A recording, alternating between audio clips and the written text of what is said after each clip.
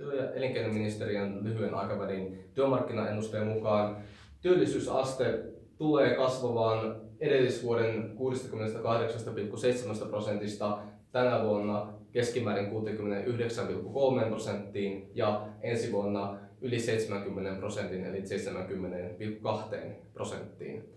Työllisyyden kasvua tällä hetkellä vauhdittaa erityisesti piristynyt talouskasvu, mutta toisaalta myös työ, työvoiman aktivoituminen pitkän taantuman jälkeen.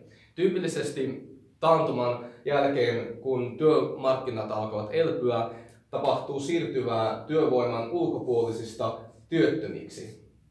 Tämä hetkellisesti voi vaikuttaa siihen, että työllisyysaste, joka lasketaan työllisten osuutena työvoimasta, eli sekä työllisistä että työttömistä, ei välttämättä lähde välittömästi kasvuun, kunnes sitten tapahtuu siirtymää työttömistä työllisiin.